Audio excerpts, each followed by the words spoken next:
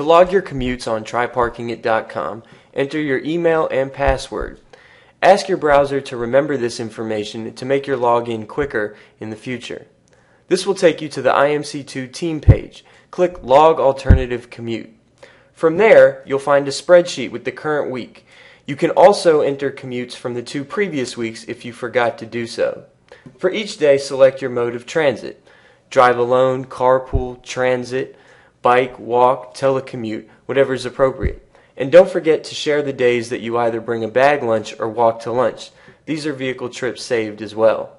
Click Submit and that's it. The final page will give you a summary that will allow you to track your impact.